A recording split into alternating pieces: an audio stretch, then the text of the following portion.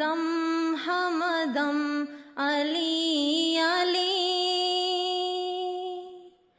सोफिए बा सफा मनम दम हमदम अली अली सोफिए बा सफा मनम दम हमदम अली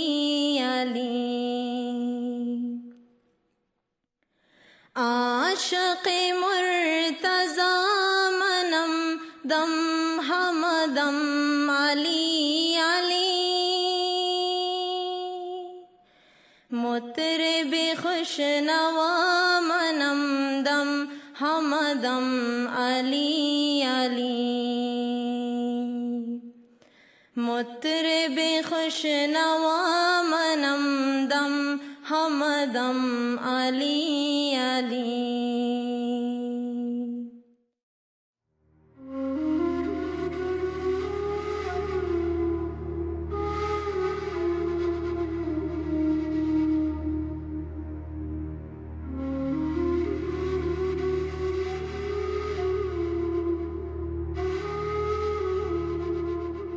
Восьмого июня 632 года по городу Медине начали распространяться новости, вызвавшие волну скорби среди ранней мусульманской общины. Скончался пророк Мухаммад, салаллаху аляхи ва алейхи вассалям. В течение 23 лет пророк руководил своей общиной и получал божественные откровения, чтобы направлять своих последователей. Поскольку вера ислама касалась политического, религиозного, этического и социального, посланник Бога занимался всеми этими аспектами жизни общины. Вопросы о характере законного мусульманского руководства после пророка оставались центральными на протяжении всей истории. С течением времени развивались различные мусульманские интерпретации, что привело к различным верованиям и формам руководства – После пророка появились две основные модели власти. В суннитской интерпретации пророк не назначил преемника. Халиф понимался как глава мусульманской общины, который управлял государством и действовал как хранитель веры. Роль авторитетов по религиозным и этическим вопросам среди суннитских общин взяли на себя религиозные ученые или улама – Сунниты сегодня разнообразны, с четырьмя школами права или масхабами – ханафитскими, ханбалитскими, маликитскими и шафиитскими. Шиитская интерпретация основана на принципе наследственного руководства. Термин «шиа» происходит от «шиат Али», последователи Хазрата Али, алейхи салям. Для шиитов пророк назначил Хазрата Али своим законным преемником в качестве первого в наследственной линии имамов. بسم الله الرحمن الرحيم يا أيها الرسول بلغ ما أنزل إليك من ربك وإن لم تفعل فما بلغت رسالته والله يعصمك من الناس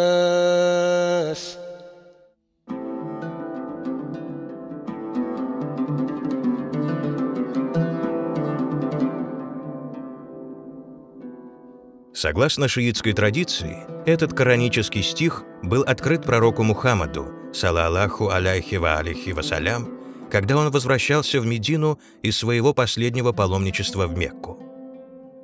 Что было настолько важно для пророка, что невыполнение этого означало бы не передать послание Бога? Как шиитские, так и суннитские исторические источники сообщают, что вскоре после откровения этого стиха караван пророка остановился в оазисе Гадирхум, где он обратился к своим последователям.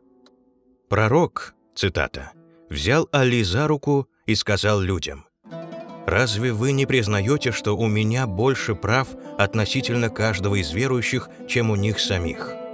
И они ответили «Да». Он взял Али за руку и сказал, «Манкунту мавляху фа алиюн мавляху». Тот, кому я мавля, Али его мавля. О Аллах, поддержи каждого, кто поддерживает его, и выступи против каждого, кто противостоит ему. Конец цитаты. Для шиитов слово «мавля» интерпретируется как «господин-повелитель» и является назначением Хазрата Али в качестве преемника пророка. Они также утверждают, что это назначение было сделано по повелению Аллаха из-за стиха, который был открыт перед Гадирхумом.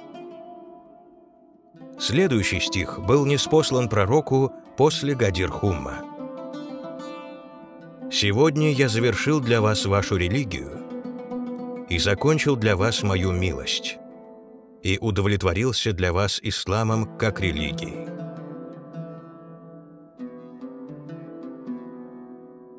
Родственным термином смавля является виляя, который является центральным столпом шиитского ислама.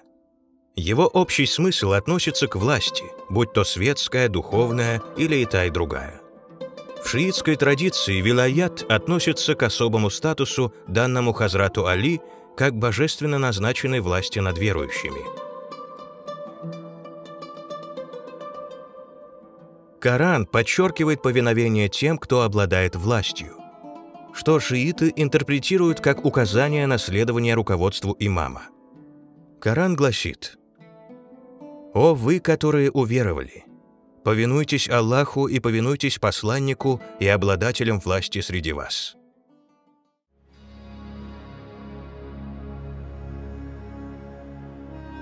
Шииты также подчеркивают высокий статус семьи пророка – Одно важное высказывание пророка известно как хадис аль-Сакаляйн. Хадис о двух весомых вещах. Сообщается, что пророк сказал, цитата, «Я оставлю среди вас две вещи великой ценности. Книгу Аллаха и мой род, людей моего дома. Ахль аль-Байт». Конец цитаты. Ахль-аль-Байт относится к Хазрату Али, Биби Фатиме, Хазрату Хасану и Хазрату Хусайну, аляйхум ассалам, а также к имамам, которые являются прямыми потомками семьи пророка. Статус семьи пророка подтверждается стихом Корана, который гласит «Аллах хочет удалить скверну от вас, Ахль-аль-Байт, и очистить вас очищением».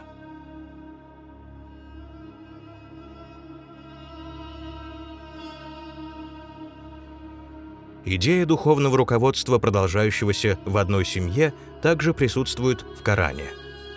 Многие стихи описывают пророков как принадлежащих к одной семье. Например, существует линия пророков, происходящих от Наби Ибрахима, аляхисалям. Оба его сына, Наби Исхак или Исаак, и Наби Исмаил, были пророками, как и сын Наби Исхака Наби Якуб или Яков – и его внук Наби Юсуф или Иосиф, аляйхум ассалям. В свете этого Аллах избрал одни семьи над другими, основываясь на их преданности, покорности и вере в божественное, как это отражено в следующих стихах Корана. Аллах избрал Адама и Нуха, и род Ибрахима и род Имрана – перед мирами, как потомство одних от других. Мы уже одарили род Ибрахима писанием и мудростью и одарили их великой властью. Согласно исламской традиции, пророк Мухаммад был потомком Наби Ибрахима через Наби Исмаила. Таким образом, с точки зрения шиитов, этот высокий статус и великая власть распространяется на пророка Мухаммада, Хазрата Али и имамов, происходящих от них.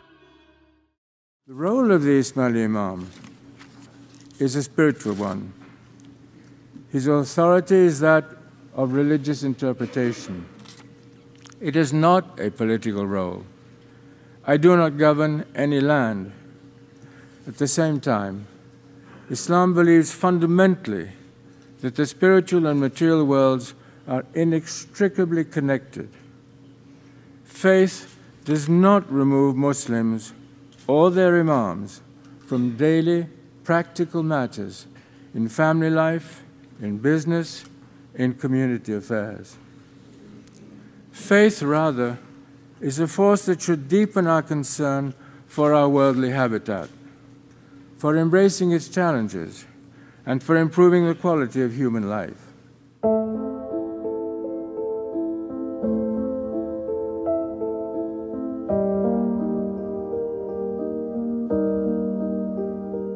Принципы имамата продолжали развиваться с течением времени.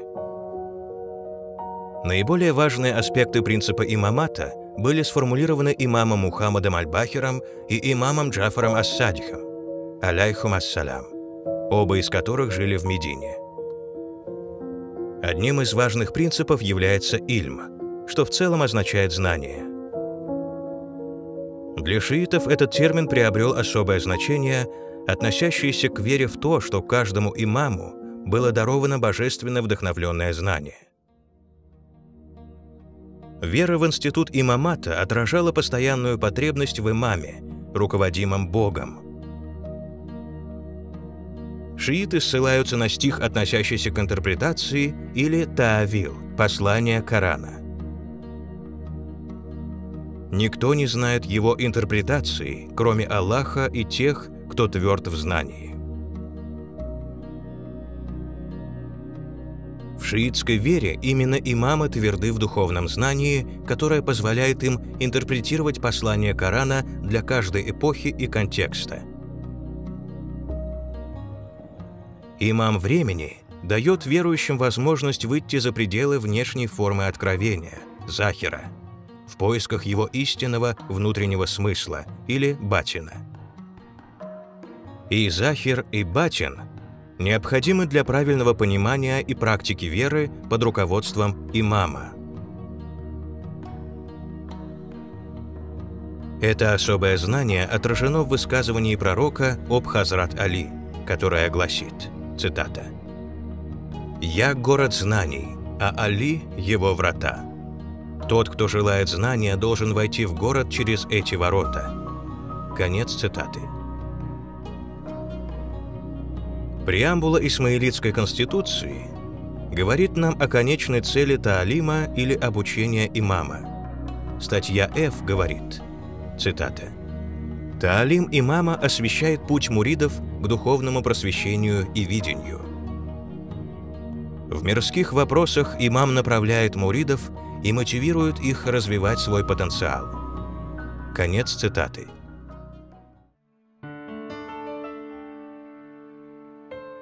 Второй принцип имамата – это «нас» или назначение. Власть имамата передается от одного имама к другому через нас, что относится к исключительному праву каждого имама назначать своего преемника точно так же, как пророк Мухаммад по божественному повелению объявил имамат Хазрата Али в Гадир-Хуме.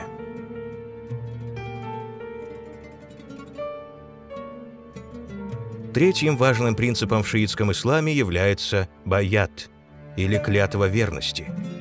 Это относится к акту принятия постоянной духовной связи между имамом и муридом. Для исмаилитов эта клятва верности объединяет всех муридов по всему миру в их верности, преданности и повиновении имаму времени. Коран ссылается на клятву Баята во времена пророка – Поистине, те, которые присягают Тебе, присягают Аллаху. Рука Аллаха над их руками. Хазрат Али и его преемники-имамы считаются наследниками власти пророка. Таким образом, после смерти пророка именно на руке имама времени воздается баят – В результате этой духовной связи муриды прославляли свою любовь и преданность имамам посредством выражения поэзии на разных языках и культурах. The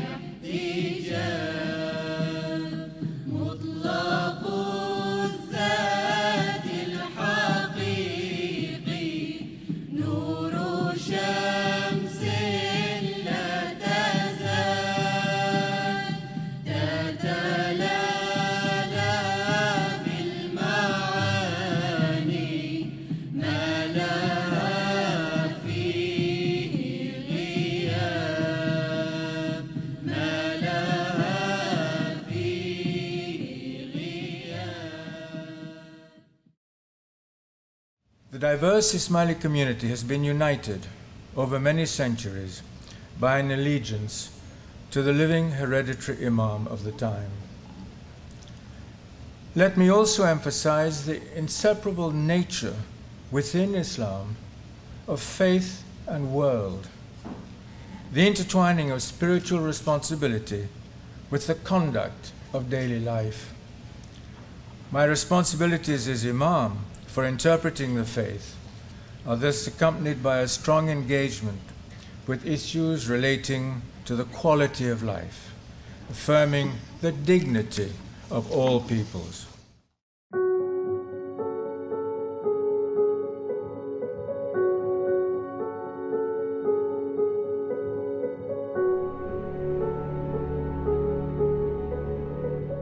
На протяжении всей истории исмаилитские имамы через свой Таавил и Таалим непрерывно направляли Джамуат сквозь меняющиеся обстоятельства в различных политических и культурных условиях. Они также работали над обеспечением защиты, безопасности и качества жизни Джамуата и обществ, в которых они жили.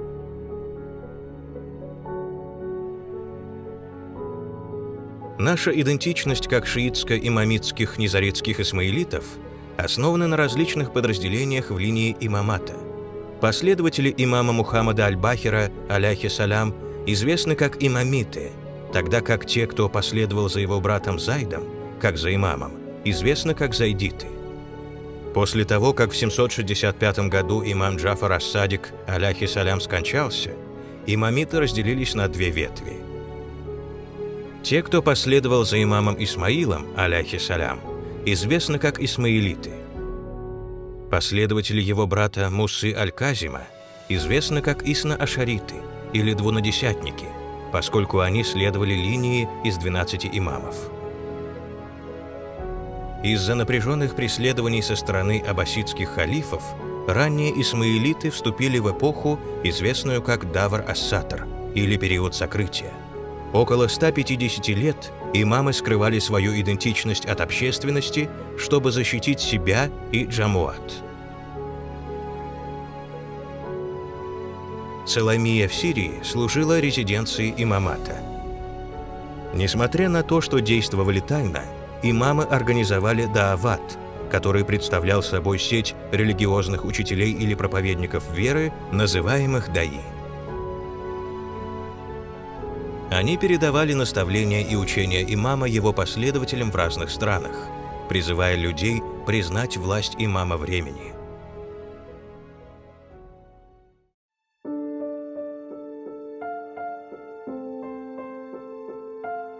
В 909 году имамат вернулся в поле зрения общественности, когда имам Мухаммад аль-Махди, аляхи салям, взошел на престол в качестве первого халифа Фатимидской империи – он построил Ал-Махдию в современном Тунисе как новую столицу и резиденцию имамата. В 969 году имам Аль-Муис, аляхи салям, распространил правление фатимидов на Египет, основав Каир в качестве своей новой столицы. Фатимиды заботились о качестве жизни всех своих подданных – они управляли населением разного этнического и религиозного происхождения, живущим бок о бок в относительном мире.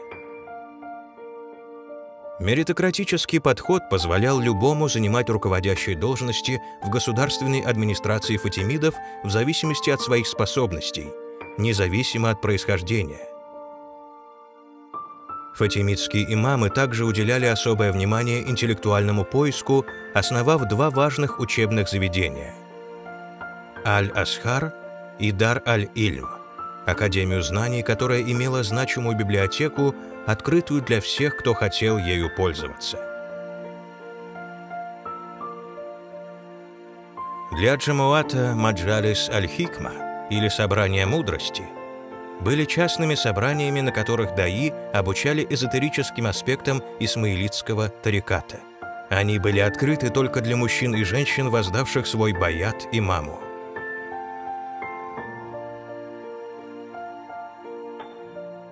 В 1094 году исмаилиты разделились на две отдельные общины. Низариты – это те, кто последовал за имамом Низаром, аляхисалям, тогда как ветвь мусталитов – это те, кто следовал за его братом Аль-Мустали. Фатимидская империя продолжилась под властью мустаалитской ветви до 1171 года. Низаритские имамы тайно перебрались в крепость Аламут в Персии.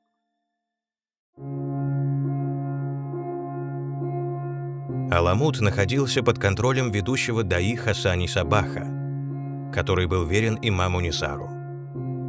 Он основал сеть крепостей в горах Персии, чтобы защитить общину от преследований со стороны правящей династии сельджуков. Сеть крепостей была также создана низаритскими исмаилитами в Сирии. В конце концов, с сельджуками был достигнут мир, после чего имамы вновь вышли из сокрытия, правя и открыто обучая в Аламуте. В начале XIII века надвигающееся монгольское нашествие создало новую угрозу для мусульманского мира. Исмаилитские крепости стали надежным убежищем для тех, кто бежал от монголов. Интеллектуалы и ученые всех религиозных убеждений нашли убежище под покровительством имамов, работая в знаменитой библиотеке в Аламуте. В 1256 году исмаилиты были вынуждены сдать монголам Аламут и другие крепости. Но линия имамата продолжилась. В то время как имамы скрывались в Азербайджане, а затем в Персии, Даават продолжал руководить джамуатом в Сирии, Персии, Центральной Азии и Южной Азии под руководством имамов.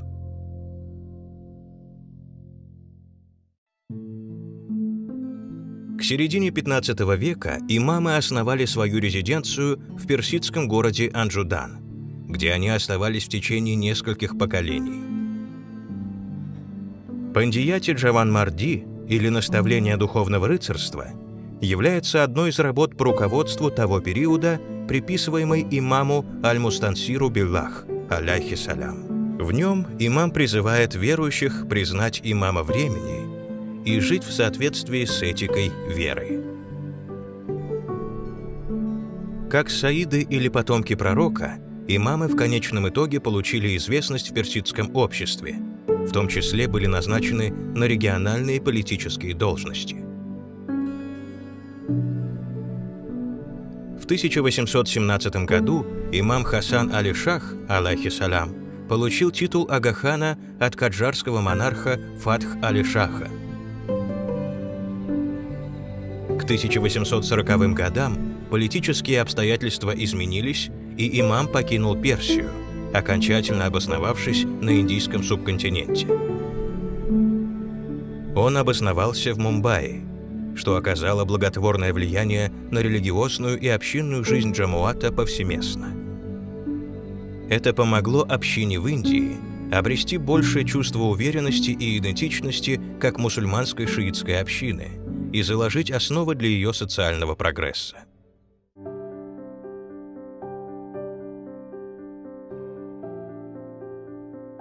Имам Султан Мухаммад Шах, алейхи салям, установил исмаилитские конституции и систему советов для управления делами Джамуата. Он построил больницы и школы, особенно подчеркивая необходимость образования девочек. Его юбилейные торжества позволили создать новые учреждения для улучшения финансового положения Джамуата –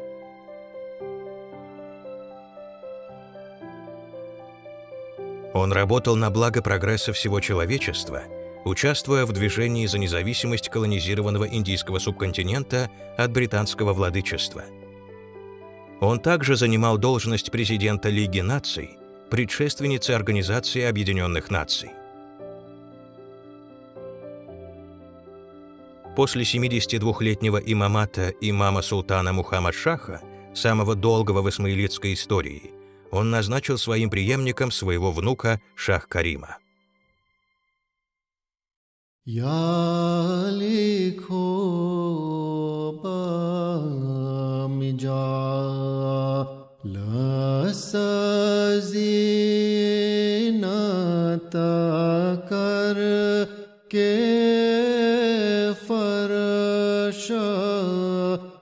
চল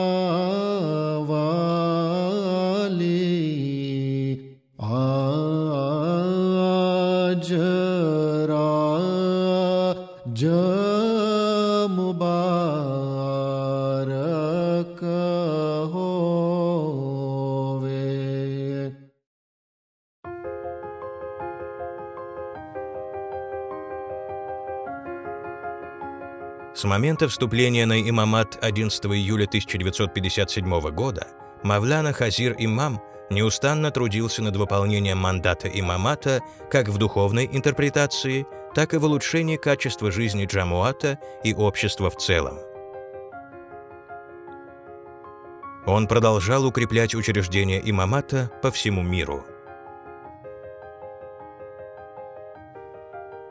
1986 году он издал новую глобальную исмаилитскую конституцию для укрепления социального управления институтами Джамуата и организации Агахана по развитию, или АКДН. The engagement of the Imamate in development is guided by the ethics of Islam, which bridge faith and society, a premise on which I established the Arkan Development Network known as the AKDN. Its cultural, social, and economic development agencies seek to improve opportunities and living conditions of the weakest in society without regard to their origin, gender, or faith. Продолжая историческое продвижение роли интеллекта, Мавлана Хазир Имам учредил три высших учебных заведения. Институт исмаилитских исследований или IIS, Университет Агахана и Университет Центральной Азии. IIS, основанный в 1977 году, способствует научным исследованиям и изучению мусульманских культур и обществ. Их работа включает в себя подготовку профессиональных учителей религиозного образования и тех членов Джамуата, которые имеют научные интересы в области исламоведения. IIS также разрабатывает глобальные учебные программы религиозного образования для учащихся в Джамуате, чтобы они узнали о своей вере, идентичности и истории мусульманских цивилизаций. Просвещение о плюрализме и интеллектуальном вкладе мусульманских цивилизаций является частью ответа Мавляна Хазир Имама на широко распространенные неправильные представления об исламе во многих западных обществах. Он также призвал Джамуат действовать как представители веры, живя этически и представляя позитивное лицо ислама. Исмаилитские центры также выступают как представительские здания для общины в стремлении построить мосты с обществом в целом. В стремлении помочь создать более мирные общества во всем мире, в которых ценятся и приветствуются различия, Мавлана Хазир Имам основал глобальный центр плюрализма. Имам занимается дипломатией и наведением мостов с правительствами и организациями гражданского общества по всему миру. Деятельность имамата была еще более усилена подписанием соглашения с правительством Португалии об учреждении резиденции Исмаилитского имамата в Лиссабоне.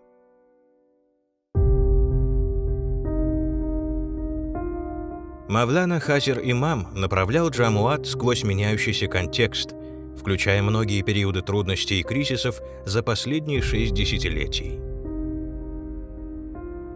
Это включает в себя поддержку джамуатов в условиях нестабильности в различных странах после окончания европейского колониализма и распада Советского Союза, в ситуациях конфликтов, стихийных бедствий, нищеты и нехватки продовольствия, помощь в переселении беженцев, которые были вынуждены покинуть свою родину, помощь в восстановлении обществ, опустошенных войной и нищетой, а также руководство обоснованием джамуатов в западном мире.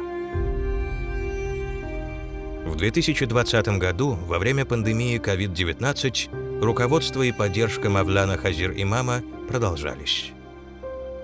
Медицинские учреждения АКДН находятся на переднем крае пандемии.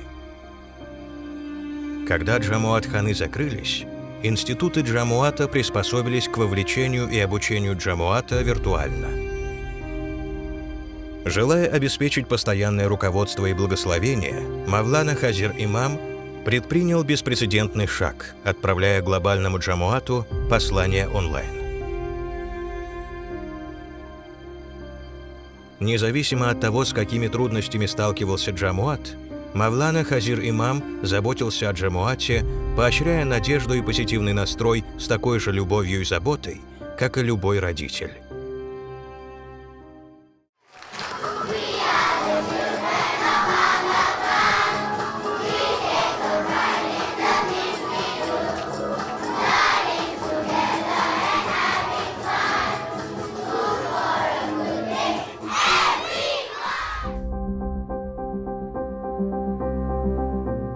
Имамат Мавлана Хазир Имама также имел возможности для празднования и счастья.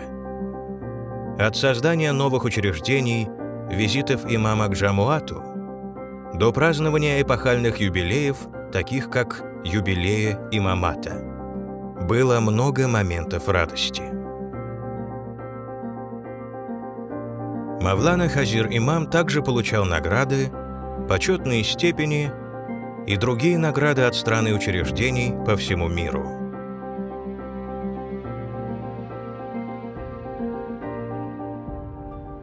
На протяжении более чем 60 лет перемен одно было постоянным. Вездесущая любовь имама, которая освещает наш путь сквозь тьму. Таким образом, Мавлана Хазир Имам давал непрерывные наставления по вопросам веры – напоминая нам не оставлять дин ради дунья. Постоянно помнить Аллаха и вечную природу души. Регулярно практиковать веру, заниматься интеллектуальным и духовным поиском, делиться знаниями и жить ценностями щедрости, доброты, смирения и служения другим.